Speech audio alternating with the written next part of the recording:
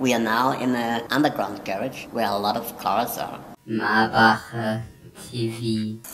Cars running too fast. Cars tend to get speed tickets. Okay, no. People driving cars tend to get speed tickets. You got that? The cars too fast, people getting speed tickets. My wheelchair never gets a speed ticket.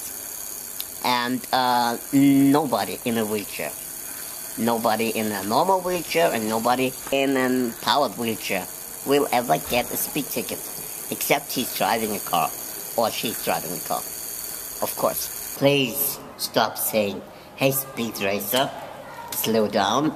Or, hey, maybe you get a speed ticket, slow down. In Europe, we have something called the Formula One. The Formula One is a car racing competition, like your IndyCar racing. And we had in the former years a really successful driver. He was called Michael Schumacher. He's from Germany. He won like seven times, I think. And people tend to call me, hey little Schumi. That's the European version of Hey Speed Racer. It's not funny neither.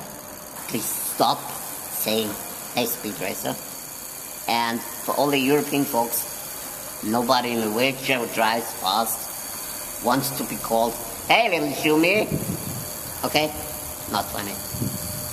And because we are not, because we are no cars, we are persons walking on our feet. And hey, sorry, our feet are faster than yours. So, take it. Okay? So, and you hear it, cars are much louder than wheelchairs. Okay, that's for today. And uh, before I forget, no, I would never forget, it's Teal Time. Yeah, you got it. My Gimpy Life on YouTube. Check it out. Link below. And, and, and, and watch the first season.